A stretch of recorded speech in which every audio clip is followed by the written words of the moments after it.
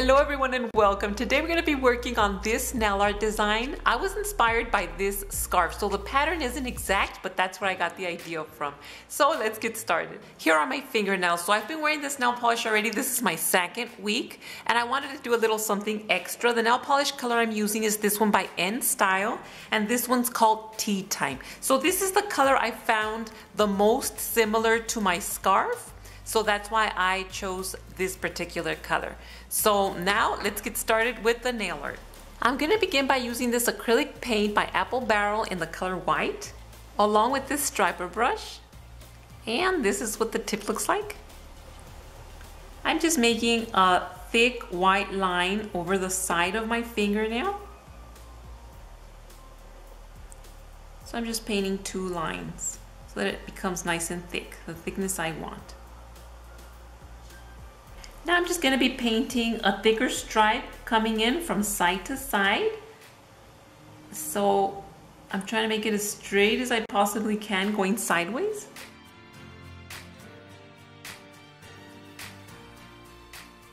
Now I'm just going to add the opposite side.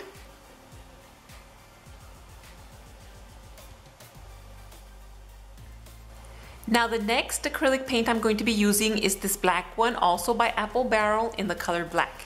Now I'm just going to be outlining the sides of the stripes or the thick lines we made.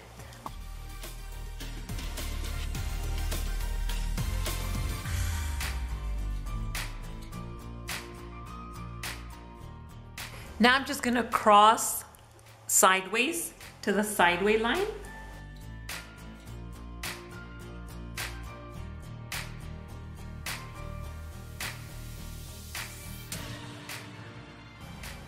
and do the same exact thing on the opposite side. And definitely play around with it. If you see that you didn't get the result you wanted, go in there and uh, just play around with the lines. That's the awesome thing about using acrylic paints, that if you mess up, you can always go in and fix the mess up. So right here, I'm seeing that I have to fill in a little bit more. So I'm just gonna do that.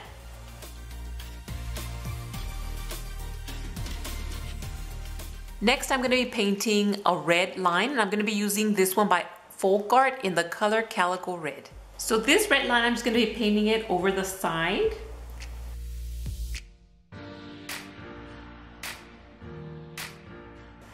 And I want it a little bit thicker, so I'm just going to go over it one more time, putting a little more pressure on the brush.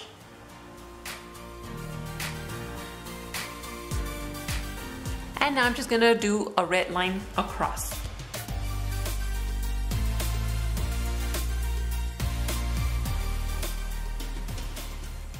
And going over it one more time. For my pointer fingernail and my ring fingernail, I'm gonna be using this black nail polish by Nail Fetish.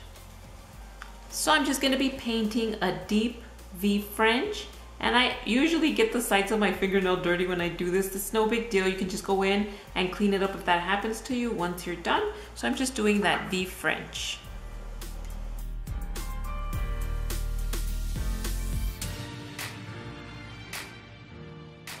And now we just do the same exact thing over the pointer fingernail.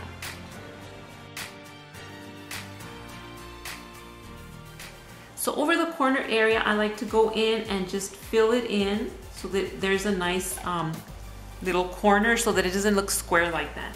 So I just fill it in and I'm using um, a medium size striper brush for this.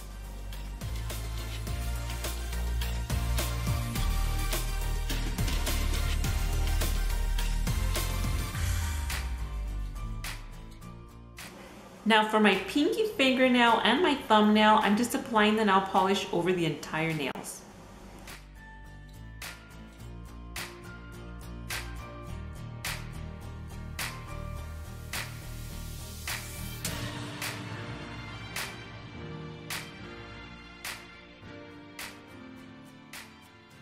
Now on top of the black nail polish, I'm going to be adding this glitter polish by Sinful Colors. It's called Smoking Hot. I believe it's been discontinued for a while, but any glitter polish of your choice should do great.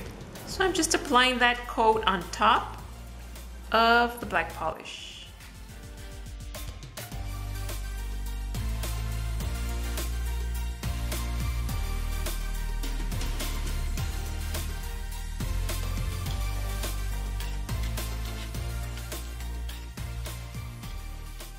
For my top coat, I'm gonna be using this one by Sinful Colors.